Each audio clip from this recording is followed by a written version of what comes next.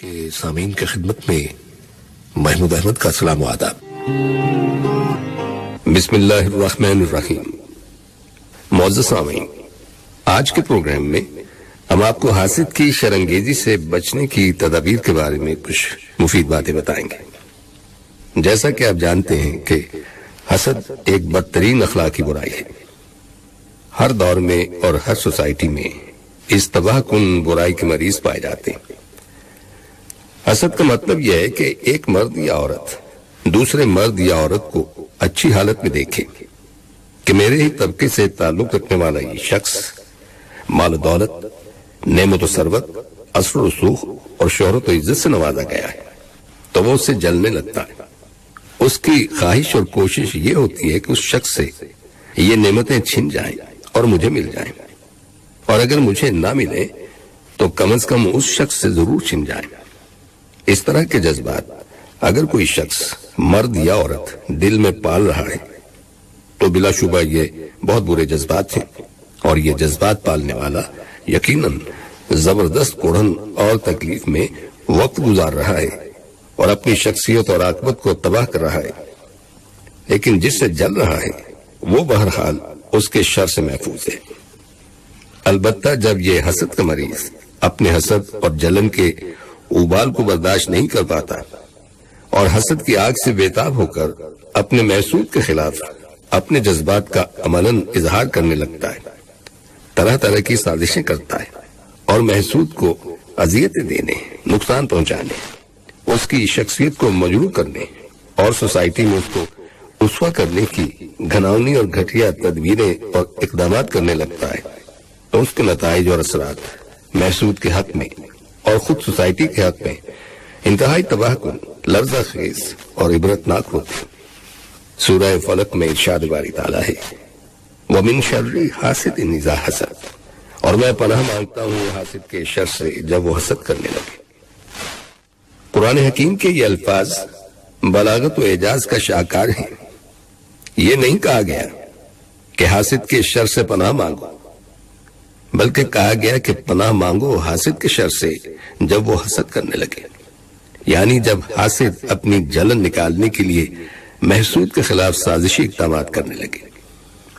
حاسد اگر حسد کے جذبات میں جل رہا ہے اور محسود کو اچھی کیفیت میں دیکھ کر پیچوتاب کھا رہا ہے، تو بجائے خود یہ کیفیت بھی انتہائی تباہ کن اور قابل مذمت ہے۔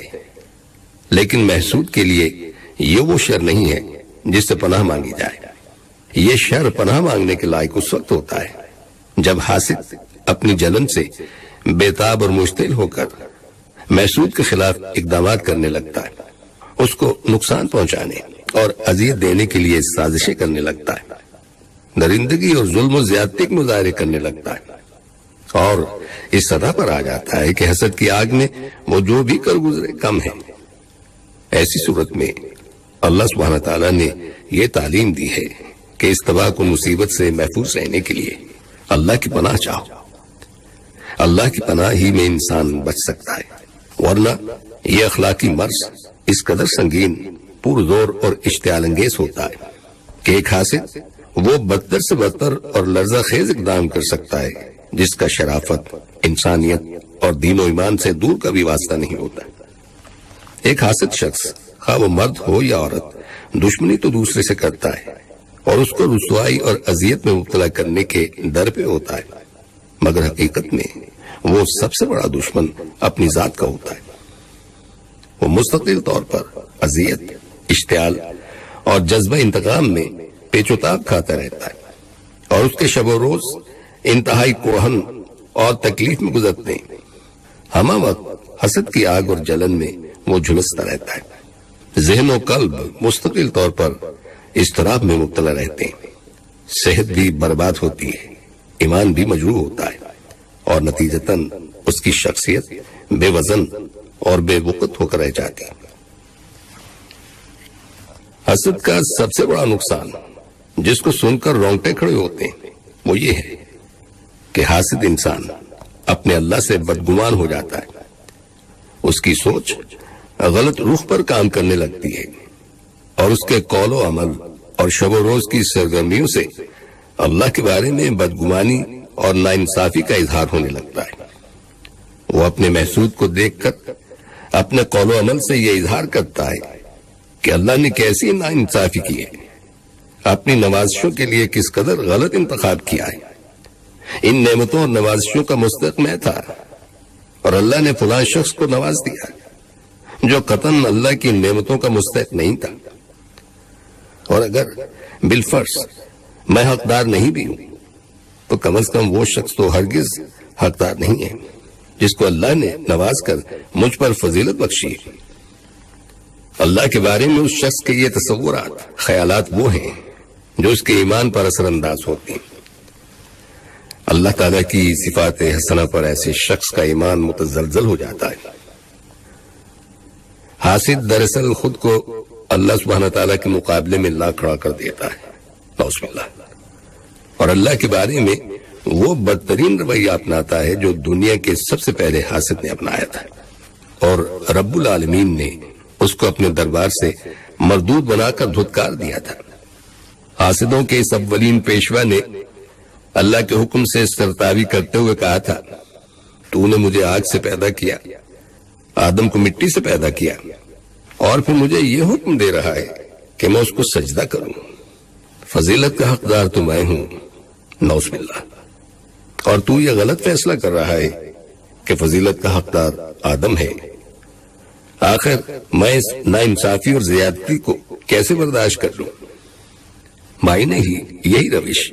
اس اولین حاسد کا پیروکار ہر حاسد اپناتا ہے۔ وہ بھی اللہ سے یہی شکایت کرتا ہے کہ نوازے جانے کا مستحق میں تھا اور تو نے دوسرے کو نواز کر مجھ پر فضیلت دی۔ دراصل اللہ کے فیصلے کے آگے سر تسلیم خم نہ کرنا اور اللہ کے علم و حکمت اور انتخاب و فیصلے کو چیلنج کرنا ابلیسی کردار اور مزاج ہے۔ ہر حاصل دانستہ یا نہ دانستہ اسی کردار اور مزاج کا مظاہرہ کرتا ہے۔ ایمان کے جوہر سے محرومی اور ابلیس خبیص کے کردار اور مزاج میں ڈھل جانا۔ ایک انسان کا وہ بدترین حال اور انجام ہے جس کے تصور سے ہی رونگٹے کھڑے ہو جاتے۔ ہیں حسد کا ایک بڑا نقصان یہ بھی ہے کہ ایسا شخص تعمیری ذہن و فکر اور صلاح و فلاح کی سی و کاوش سے محروم ہو جاتا ہے۔ وہ اپنی زندگی کو بنانے، مستقبل کو سنوارنے، صلاح و سدھار کے کام کرنے کے بجائے ہر وقت اسی استراب اور بے چینی میں مبتلا رہتا ہے۔ کہ جن کو اللہ نے اپنی نعمتوں سے نوازا ہے، ان کی شخصیتوں کو مجروح کرے، ان کو نقصان پہنچائے، ان کی تزلیل کرے اور ان کی اذیت اور تکلیف رسانی کا سامان کرے۔ حسد کی آگ کسی وقت اس کو سکون سے نہیں بیٹھنے دیتی۔ وہ اپنے محسوس پر ہی نگاہ رکھتا ہے، اندر ہی اندر سلگتا ہے اور پہم پیچوتاب کھاتا رہتا ہے۔ اس کا اپنا ذہن بھی انتشار کا شکار رہتا ہے۔ اور گھر کے لوگ بھی اس کے اثرات بد کے نتیجے میں غلط و رخ پر سوچنے لگتے ہیں۔ اور زندگی سکون و سلامتی اور راحت و عافیت سے محروم ہو جاتی وہ اپنے محسود کو اذیت و نقصان پہنچانے، اس کو ذلیل اور رسوا کرنے اور ہلاک و برباد کرنے کے لیے وہ رزیل ترین حرکتیں کرنے پر اتر آتا ہے۔ جن کے بارے میں یہ تصور بھی نہیں کیا جا سکتا کہ کوئی انسان ایسی حرکات بھی کر سکتا ہے۔ ایسے موقع پر اللہ سبحانہ تعالیٰ نے قرآن حکیم میں مومن کو یہ تلقین فرمائی ہے کہ وہ حسد کے اقدام پر اتر آنے والے حاسد کے شر سے اللہ سبحانہ تعالیٰ کی پناہ چاہے اور اس ایمانی شعور کے ساتھ اللہ کی پناہ کے یہ الفاظ ادا کرے کہ میں جس کی پناہ مانگ رہا ہوں، وہ سب پر غالب ہے۔ اس کی قدرت اور اقتدار سب پر حاوی ہے اور کوئی چیز اس کی قدرت اور علم کے دائرے سے باہر نہیں ہے۔ حاسد کے شر سے ایمان کے لیے اللہ کی شعوری پناہ مانگنے کے ساتھ ساتھ چند اور تدبیریں بھی ہیں جو اس سلسلے میں معاون اور کارگر ہو سکتی ہیں۔ ان کا بھی ہو سکے تو اہتمام کرنا چاہیے۔ یہ تدبیریں کچھ اس طرح سے ہیں کہ جس بندے سے حسد کیا جا رہا ہے، وہ اللہ پر پورا پورا بھروسہ رکھے، ہرگز گھبراہٹ کا مظاہرہ نہ کرے۔ یہ یقین رکھے کہ جب تک اللہ نہ چاہے، کوئی بندہ کسی کا کچھ نہیں بگاڑ سکتا۔ نفع نقصان پہنچانے کا اختیار صرف اللہ کو ہے۔ کوئی کچھ بھی کرے، اگر اللہ نہ چاہے تو کوئی ذرہ بر تکلیف نہیں دے سکتا۔ اگر اس کی جانب سے راحت اور بھلائی کا فیصلہ ہے تو کوئی طاقت اس فیصلے کو ٹال نہیں سکتی۔ اور اگر اس کی طرف سے ہی کسی تکلیف اور نقصان کا فیصلہ ہے تو کوئی اس سے بچا نہیں سکتا۔ اگر کوئی طاقت بچا سکتی ہے تو اسی کی طاقت ہے۔ اس کی مرضی کے بغیر یہاں ذرہ حرکت نہیں کر سکتا۔ انسان کو چاہیے کہ وہ خیر خائی کے سوا کچھ نہ سوچے۔ ہر حال میں بلائی کا رویہ رکھے اور یہ یقین اور اطمینان رکھے کہ بہترین انتقام لینے والا اللہ سبحانہ تعالیٰ ہی ہے۔ اس کے علم سے نہ کوئی چیز پوشیدہ ہے، نہ اس کے احاطہ قدرت سے کوئی چیز باہر ہے۔ اس کی پکڑ بہت سخت ہے۔ جب وہ انتقام لینے پر آتا ہے تو اس کی گرفت سے کوئی نہیں بچ سکتا۔ ان اللہ علی کل شہین قدیر۔ اللہ تعالیٰ ہر چیز پر قدرت رکھتا ہے۔ جس سے حسد کیا جا رہا ہے، وہ حاسد کی ذلیل حرکتوں اور بہودہ باتوں سے اشتعال میں نہ آئے انتقامی جذبات سے مغلوب ہو کر ایسی کاروائیاں یا ایسی تدبیریں نہ سوچنے لگے کہ وہ خود حاسد کی سطح پر آنے کی حماقت کرنے لگے۔ ہر حال میں صبر و تحمل سے کام لے۔ صبر کو اپنی ڈھال بنائے اور یہ اعتماد اور یقین رکھے کہ صبر کا صلح دینے والا وہ اللہ ہے جو وعدہ خلافی نہیں کرتا۔ جب حاسد اللہ اور بندوں کی شرم سے بے نیاز ہو کر اور اخلاق اور انسانیت سے آری ہو کر بہودہ اور ذلیل حرکتیں کرنے لگے اور کمینہ پن اور رضالت کے مظاہرے کرنے پر اتر آئے اور اللہ کے خوف سے بالکل ہی لاپرواہ ہو جائے تو محسود کو چاہیے کہ اس وقت بھی تقوی کی روش پر جمع رہے۔ اور تقوی کے خلاف ہرگز کچھ نہ کرے۔ کسی نادان کی ظالمانہ روش کے انتقام میں تقوی اور خدا ترسی کی روش کو چھوڑ دینا سب سے بڑا نقصان اور سب سے بڑی شکست ہے۔ حاسد کی بدترین سزا یہ ہے کہ اس کا نوٹس ہی نہ لیا جائے۔ البتہ اگر وہ سماج میں زلیل اور رسوا کرنے کی کوشش میں سارے حدود اور قیود پھان جائے، تو پھر اس کو مناسب انداز میں یہ وارننگ ضرور دی جائے کہ ہم اللہ کی ہدایت اور شرافت کی وجہ سے خاموش ہیں۔ یہ یاد رکھو کہ شریف انسان کا غصہ انتہائی ہولناک اور فیصلہ کن ہوتا ہے۔ اس وارننگ کا نتیجہ انشاءاللہ یہ ہوگا کہ وہ کھلم کھلا زبان درازی نہیں کرے گا اور اس کی زبان ضرور خاموش ہو جائے گی۔ اس لیے کہ ذلیل انسان ہمیشہ بزدل ہوتا ہے۔ البتہ اس کے اندر جو آگ لگی ہوئی ہے، اس سے مجبور ہو کر وہ اپنی آگ بجھانے کی تدبیریں ضرور کرے گا۔ حاسد خواہ کیسی ہی تکلیف پہنچائے اور کیسا ہی برا سلوک کرے۔ جواب میں محسود اس کے ساتھ کوئی برا سلوک ہرگز نہ کرے۔ اگر زندگی کے کسی مرحلے میں کوئی ایسا موقع آئے کہ وہ حاسد کے ساتھ کوئی نیک سلوک کر سکتا ہو، تو وہ ضرور کرے۔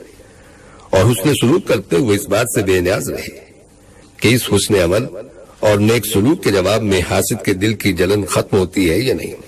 اور اس کی روش میں کوئی تبدیلی آتی ہے یا نہیں؟ اور آخری بات یہ کہ محسود اپنے دل کو حاسد کے خوف سے قطعی پاک رکھے اور یہ یقین رکھے کہ حاسد اس کا کچھ نہیں بگاڑ سکتا۔ حاسد کے خوف سے دل کو پاک رکھنے کے لیے ضروری ہے کہ عقیدہ توحید کو تفصیل کے ساتھ سمجھنے کی کوشش کرے۔ اللہ سبحانہ تعالیٰ کی صفات کا استحصال رکھے۔ ہر حال میں عقیدہ توحید پر مضبوطی کے ساتھ جمع رہے اور کسی سے قتل خوف نہ کھائے۔ جس دل کے اندر اللہ کی توحید بسی ہوئی ہو، اس دل میں اللہ کے خوف کے ساتھ کسی دوسرے کا خوف ہرگز جمع نہیں ہو سکتا۔ شیاطین اور ارواح خبیصہ جو ہر وقت انسان کے تعاقب میں ان کے شر سے بچنے کے لیے اگر نبی اکرم صلی اللہ علیہ وسلم کے اس حسنہ کے مطابق آدمی اپنا معمول بنا لے۔ تو وسوخ سے ہم کہہ سکتے ہیں کہ انشاءاللہ وہ ہر شر اور فتنے سے اللہ کے فضل و کرم سے محفوظ رہے گا۔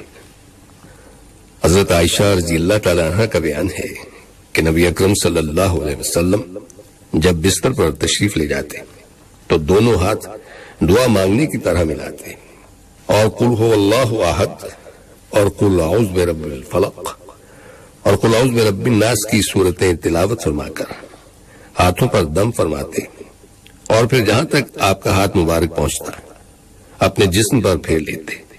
سر، چہرے اور جسم کے اگلے حصے سے شروع فرماتے۔